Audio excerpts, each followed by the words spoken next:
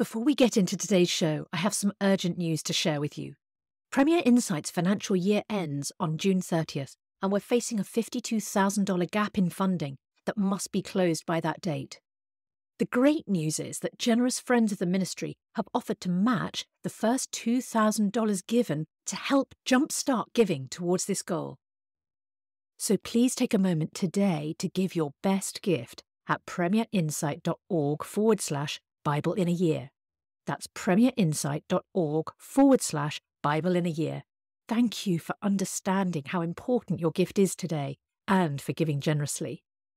And now it's time for today's podcast. Bringing the Word to life, the Bible in a year. Malachi 3 and 4. I will send my messenger, who will prepare the way before me. Then suddenly the Lord you are seeking will come to his temple. The messenger of the covenant whom you desire will come, says the Lord Almighty. But who can endure the day of his coming? Who can stand when he appears? For he will be like a refiner's fire or a launderer's soap. He will sit as a refiner and purifier of silver. He will purify the Levites and refine them like gold and silver.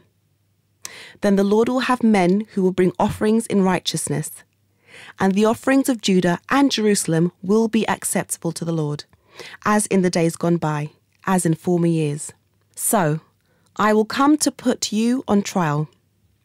I will be quick to testify against sorcerers, adulterers, perjurers, against those who defraud labourers of their wages, who oppress the widows and the fatherless, and deprive the foreigners among you of justice. But do not fear me, says the Lord Almighty. I, the Lord, do not change. So you, the descendants of Jacob, are not destroyed. Ever since the time of your ancestors, you have turned away from my decrees and have not kept them. Return to me, and I will return to you, says the Lord Almighty. But you ask, How are we to return? Will a mere mortal rob God? Yet you rob me. But you ask, How are we robbing you? In tithes and offerings. You are under a curse, your whole nation, because you are robbing me. Bring the whole tithe into the storehouse, that there may be food in my house. Test me in this, says the Lord Almighty, and see if I will not throw open the floodgates of heaven and pour out so much blessing that there will be no room enough to store it. I will prevent pests from devouring your crops, and the vines in your fields will not drop their fruit before it is ripe, says the Lord Almighty. Then all the nations will call you blessed, for yours will be a delightful land, says the Lord Almighty. You have spoken arrogantly against me, says the Lord. Yet you ask, What have we said against you? You have said, It is futile to serve God. What do we gain by carrying out his requirements and going about like mourners before the Lord God Almighty? But now we call the arrogant blessed. Certainly evildoers prosper, and even when they put God to the test, they get away with it. Then those who feared the Lord talked with each other, and the Lord listened and heard. A scroll of remembrance was written in his presence concerning those who feared the Lord and honoured his name. On the day when I act, says the Lord Almighty, they will be my treasured possession. I will spare them, just as a father has compassion and spares a son who serves him. And you will again see the distinction between the righteous and the wicked, between those who serve God and those who do not. Surely the day is coming. It will burn like a furnace. All the arrogant and evildoer will be stubble, and the day that is coming will set them on fire, says the Lord Almighty. Not a root or a branch will be left to them. But for you, who revere my name, the Sun of Righteousness will rise with healing in its rays, and you will go out and frolic like well fed calves. Then you will trample on the wicked. They will be ashes under the soles of your feet on the day when I act, says the Lord Almighty. Remember the law of my servant Moses, the decrees and laws I gave him at Horeb for all Israel. See, I will send the prophet Elijah to you before that great and dreadful day of the Lord comes. He will turn the hearts of the parents to their children, and the hearts of the children to their parents, or else I will come and strike the land with total destruction. Luke chapter 1 Many have undertaken to draw up an account of the things that have been fulfilled among us, just as they were handed down to us by those who from the first were eyewitnesses and servants of the word. With this in mind, since I myself have carefully investigated everything from the beginning, I too decided to write an orderly account for you, most excellent Theophilus, so that you may know the certainty of the things you have been taught. In the time of Herod, king of Judea, there was a priest named Zechariah, who belonged to the priestly division of Abijah. His wife Elizabeth was also a descendant of Aaron. Both of them were righteous in the sight of God, observing all the Lord's commands and decrees blamelessly. But they were childless, because Elizabeth was not able to conceive, and they were both very old. Once, when Zechariah's division was on duty, and he was serving as a priest before God, he was chosen by lot, according to the custom of the priesthood, to go into the temple of the Lord and burn incense. And when the time for the burning of incense came, all the assembled worshippers were praying outside. Then an angel of the Lord appeared to him, standing at the right side of the altar of incense. When Zechariah saw him, he was startled and was gripped with fear. But the angel said to him, Do not be afraid, Zechariah. Your prayer has been heard. Your wife Elizabeth will bear you a son, and you are to call him John. He will be a joy and a delight to you, and many will rejoice because of his birth. For he will be great in the sight of the Lord. He is never to take wine or other fermented drink, and he will be filled with the Holy Spirit even before he is born.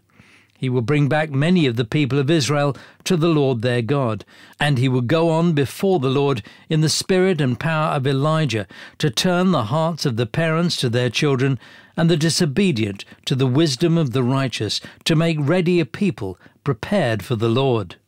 Zechariah asked the angel, How can I be sure of this? I'm an old man, and my wife is well on in years. The angel said to him, I am Gabriel. I stand in the presence of God, and have been sent to speak to you and to tell you this good news. And now you will be silent and not able to speak until the day this happens, because you did not believe my words, which will come true at their appointed time. Meanwhile, the people were waiting for Zechariah and wondering why he stayed so long in the temple. When he came out, he could not speak to them. They realized he had seen a vision in the temple, for he kept making signs to them, but he remained unable to speak. When his time of service was completed, he returned home. After this, his wife Elizabeth became pregnant, and for five months remained in seclusion. The Lord has done this for me, she said. In these days he has shown his favour and taken away my disgrace among the people. In the sixth month of Elizabeth's pregnancy, God sent the angel Gabriel to Nazareth, a town in Galilee, to a virgin pledged to be married to a man named Joseph, a descendant of David. The virgin's name was Mary.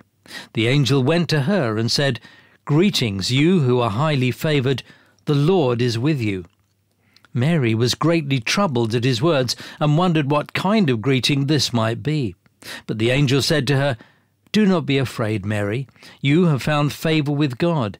You will conceive and give birth to a son, and you are to call him Jesus. He will be great, and will be called the Son of the Most High. The Lord God will give him the throne of his father David, and he will reign over Jacob's descendants for ever. His kingdom will never end. How will this be? Mary asked the angel, since I am a virgin. The angel answered, the Holy Spirit will come on you, and the power of the Most High will overshadow you. So the Holy One to be born will be called the Son of God. Even Elizabeth, your relative, is going to have a child in her old age, and she who was said to be unable to conceive is in her sixth month, for no word from God will ever fail. I am the Lord's servant, Mary answered. May your word to me be fulfilled. Then the angel left her. At that time, Mary got ready and hurried to a town in the hill country of Judea, where she entered Zechariah's home and greeted Elizabeth. When Elizabeth heard Mary's greeting, the baby leaped in her womb, and Elizabeth was filled with the Holy Spirit. In a loud voice she exclaimed, Blessed are you among women, and blessed is the child you will bear.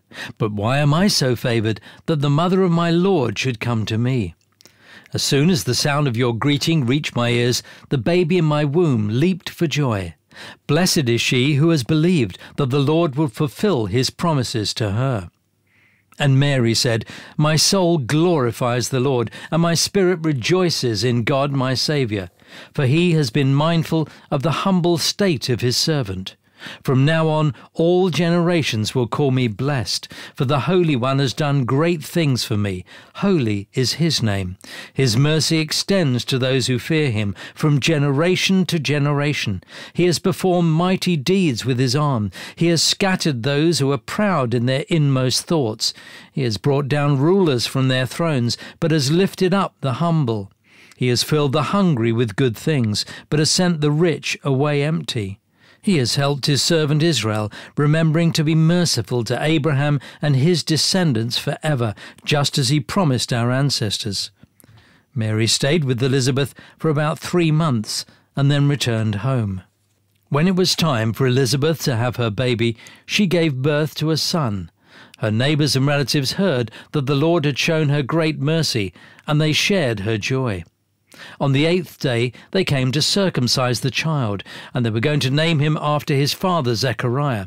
But his mother spoke up and said, No, he has to be called John. They said to her, There is no one among your relatives who has that name. Then they made signs to the father to find out what he would like to name the child.